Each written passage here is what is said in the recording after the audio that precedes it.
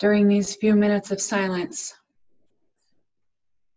you can focus on something you're grateful for or someone you're remembering, especially today, or something you're mourning, or even just the pace of your breath.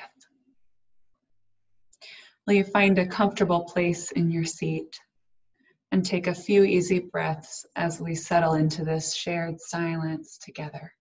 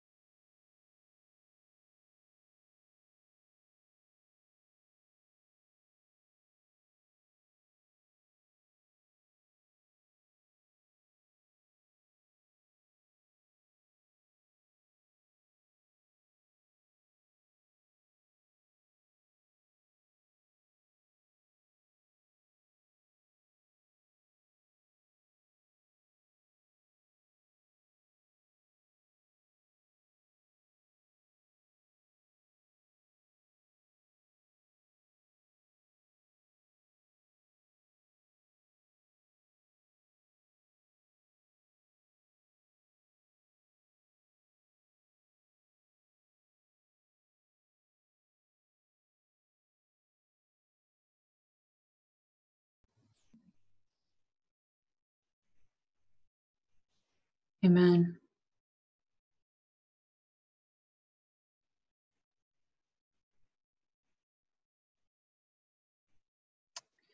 Friends, will you pray with me?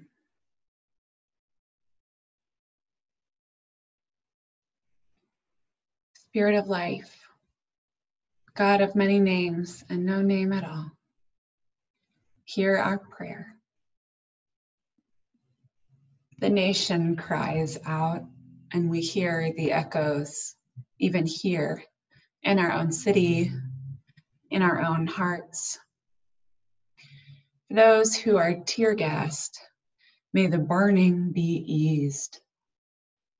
For those who are hit with rubber bullets, may the sting be soothed. For those who are beaten with police batons, may the ache subside quickly. For those who use their authority to hurt others, may they know there is another way. For those who lie awake in fear, may they be comforted. For those who feel powerless, may they find a way forward.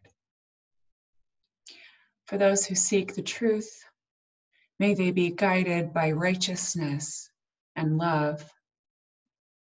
For those who feel alone, may they be surrounded by care and company.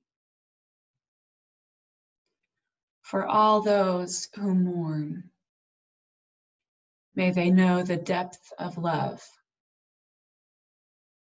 For those who mourn unjust and preventable death, may they know their rage is holy. We ask these things for ourselves, for those we love, and for those we do not love Amen.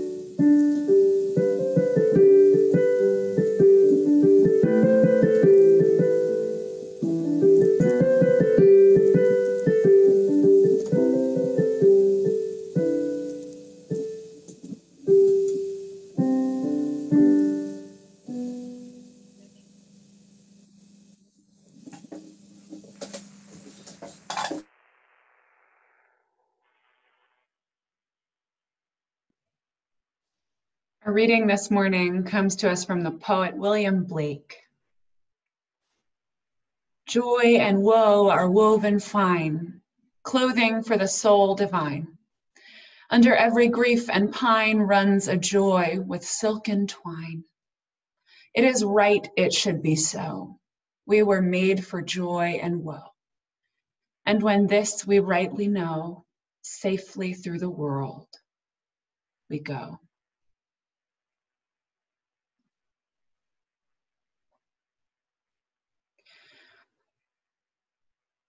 That line, safely through the world we go, sounds different to my ears after last night. After the protests downtown all day that went late into the night. After texts from some of you who were there, who were looking for each other, keeping each other company, watching each other's kids,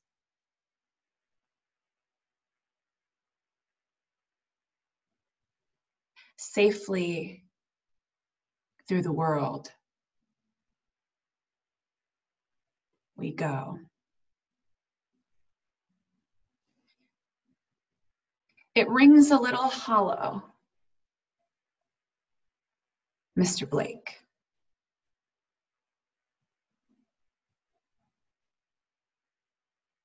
There was a moment last night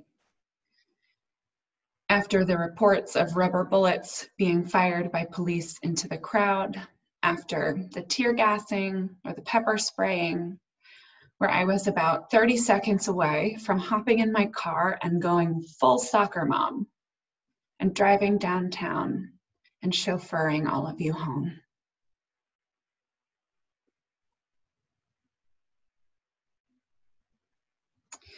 And we woke up this morning to some headlines, some of which state first the breaking of windows.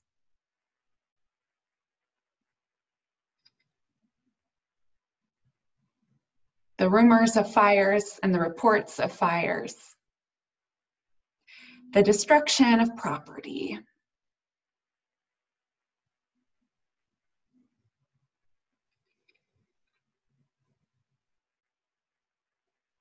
As Unitarian Universalists, we believe in the inherent worth and dignity of every person, not of every job, not of every building, not of every window, not of every business, every human being. Our faith shapes how we understand the world and its complications. And so we never, ever equate or compare the destruction of property to the destruction of Black life. Hold that truth close to your heart. Keep that always on your tongue. No human being is expendable. Black lives matter.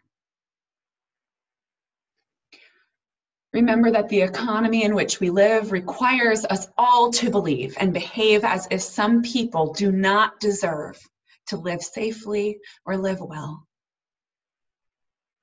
Remember that the prosperity of this nation is ill gotten, built by stolen people on stolen land. Remember that systems of governance fade in and out. Remember that empires rise and fall, but there are some truths that endure.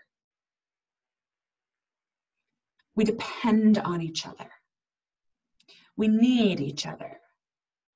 The world around us, the glories in the world around us demand to be enjoyed.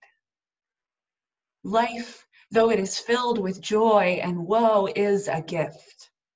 And so, what blasphemy, what utter desecration of the holiness of human life to ever, ever compare Black lives to burning buildings or smashed up windows.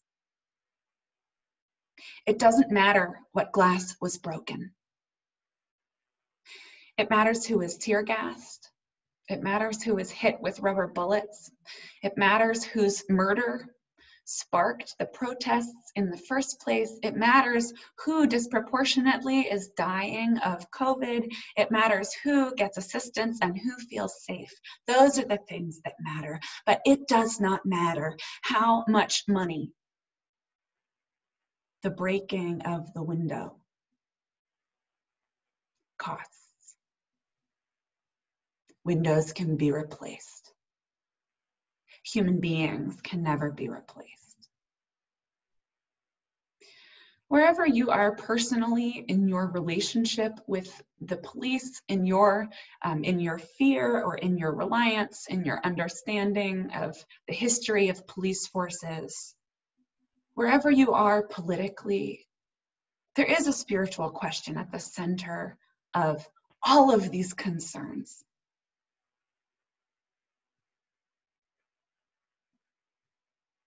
And our spiritual question, the question for us as religious people, is to seek what is holy. And the first thing we know, our first principle, is that every human life is holy. And so that is the place where we start when we consider how to engage with what's going on around us. Every human life is holy. And in particular, this week, we remember that Black lives are holy. I don't use the word blasphemy a lot.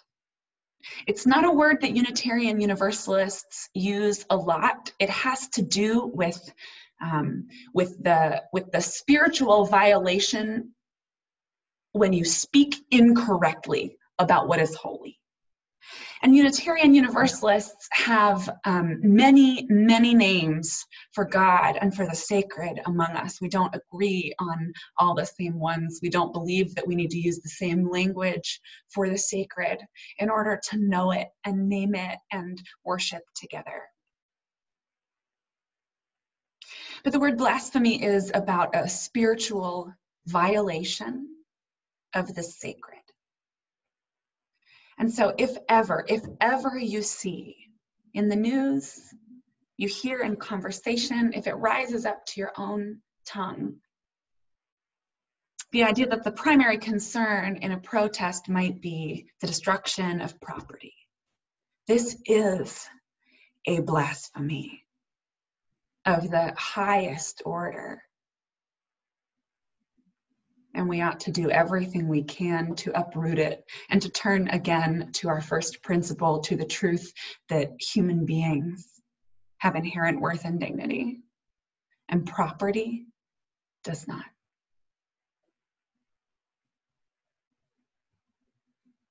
The role of the church is, among other things, to equip the faithful to reckon with the challenges of our age. And we do that in a lot of ways. We do that through good company. We do that through facilitating connection. We do that through reflecting on spiritual practices and sharing food when we're lucky enough to be in person together.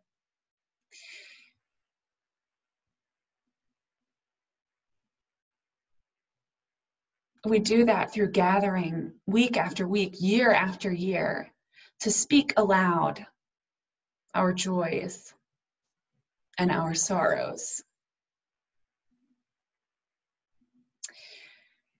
It's really important that they don't cancel each other out. You may have heard the guidance to look at the world with the glass half full. And especially on days like today, when we are so afraid, when the racist violence and the escalation by the police against nonviolent protesters is coming to a head, when we fear for ourselves and for our loved ones, the idea that there is a glass half full is insulting. The great sorrows of the world are not soothed by an attitude adjustment. The balm for the great sorrows of the world and our own lives is not an attitude adjustment. For the small things, for the petty concerns, the inconveniences, and the setbacks, for ease of moving around your life with a little more grace, I offer you the glass half full. But for the big things, for the enormous difficulties and sorrows and tragedies, for the great joys and the things that render life sweet and worth living. Imagine two jars. They're separate. Jars of joy and woe, woven fine, as the poet says. They don't counteract each other. We don't pursue spiritual lives that are actually just bean counting. We do not hurriedly list our joys in order to dilute or counteract our sorrows. We strive to live full lives of meaning and purpose, and so we name both intense dim- dimensions. We were made for joy and woe, says the poet. Two jars. The rush to skip over the sorrow, to skip over the rage, to move past the hurt.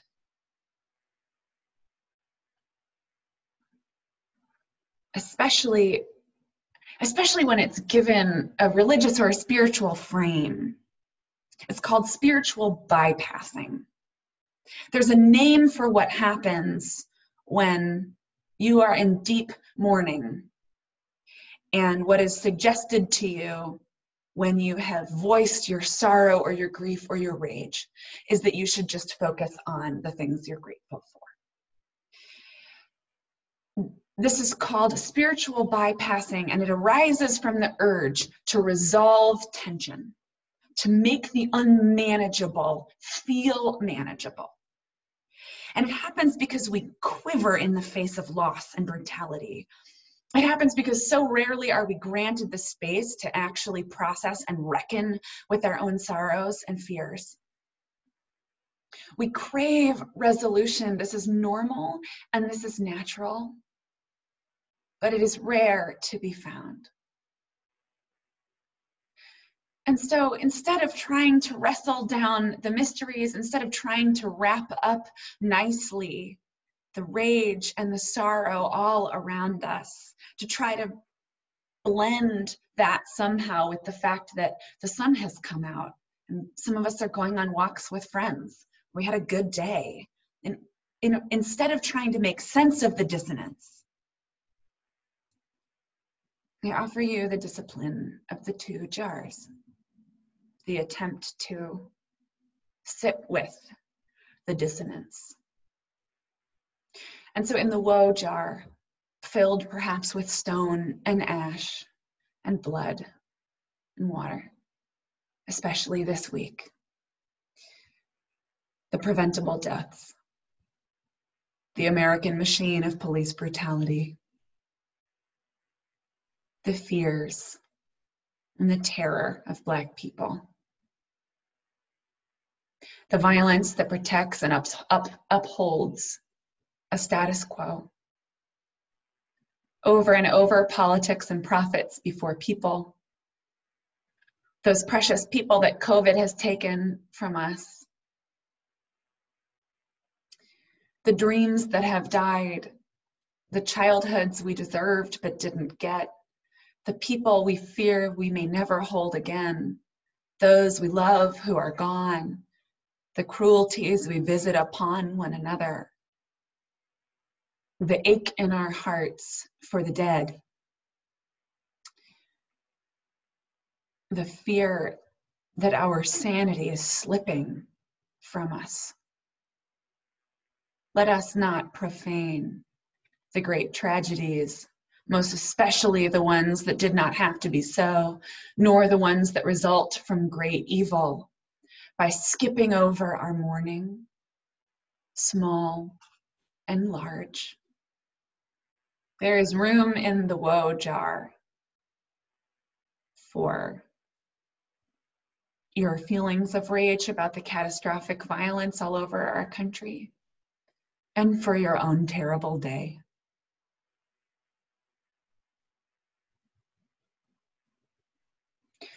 When you are ready. The joy jar waits for you. Filled with clear water, good soil, tiny growing things, the smell after a storm. Before somebody became a hashtag, they loved, they touched lives, knew themselves beloved upon the earth, sat in the sun and enjoyed it. In the joy jar, the preciousness of every moment with the people we love. The ways that we dare to dream. The longings for life and love that surface in us. The beauty in the world, the astonishing goodness of people sometimes the power of unbreakable solidarity, the blessings that catch you by surprise, the days or the hours that are inexplicably lovely, the times and the textures of our days that we savor, the delights we hold on to as if our lives depended on it, the extraordinary fullness of living, even in these quarantine days. And above all, a reminder that joy never begins. Well, at least it wasn't worse. Or those other people have it worse than me. Or what do I have to complain about? Joy is not bean counting. Joy is not only dependent on circumstance. As the old spiritual says, the world didn't give it and the world can't take it away. Your joy sneaks up on you, surprises you, overcomes you. You can slow down and look for it. You can notice it and savor it. You can even write it down. But you do not have to skip over your deep sorrow and your rage. And your joy won't mind. It will wait until you're ready. We do not pursue spiritual lives where we measure out our luck and our privileges or our misfortune and our oppression and count up all the beans and see if life is on balance good enough to be enjoyed. We just know, as the poet says, that joy and woe are woven fine. And the fullness of living each of our precious human lives has much to do with making room for them both. May it be so for you and so for us all. Amen.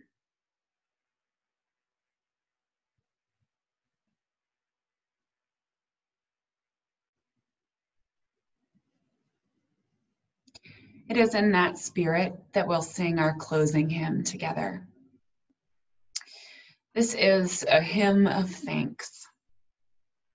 And if you are not ready today to sing a hymn of thanks, that's okay. Because the hymns of thanks will be there for you when you are.